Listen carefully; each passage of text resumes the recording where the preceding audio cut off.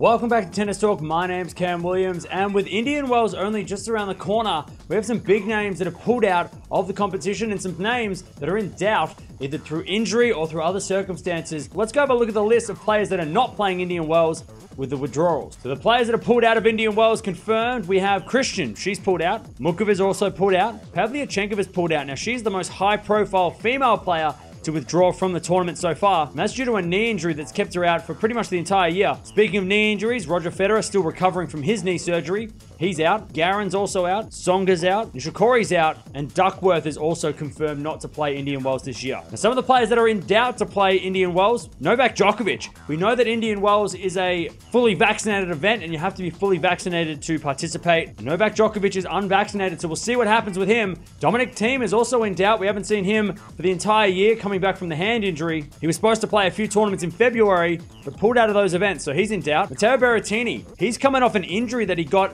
in Acapulco, an ab strain, which is what kept him out of last year's ATP finals. Raducanu, who also withdrew from a tournament last week, she's in doubt as well. Danielle Collins also pulled out of Doha the last couple of weeks, so we'll see if she's going to be playing in Indian Wells. And Pliskova, very similar to Dominic Thiem, she was supposed to be playing events after coming back from a hand injury, but we still haven't seen her yet, so she is in doubt playing Indian Wells, even though she's on the entry list. So they're the big names that are either in doubt or have withdrawn from the tournament for Indian Wells this year.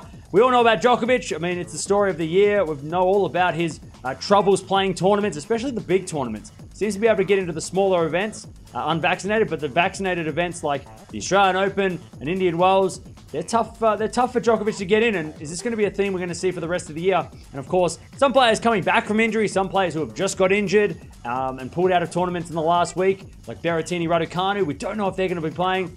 Uh, but let me know down in the comments below. Who is the biggest shock for you? Who's not playing Indian Wells, or who is in doubt for Indian Wells? I know Federer is going to be missed, uh, but we're kind of used to Federer not playing since he's had knee problems for the last couple of years. Novak Djokovic, are we going to see him at Indian Wells, or is he even going to be able to play Miami? It's not a matter of just getting to Indian Wells. Can he get into America? Well, let me know down in the comments below. Do you reckon he's going to be playing, or do you reckon any of those players in doubt are going to play?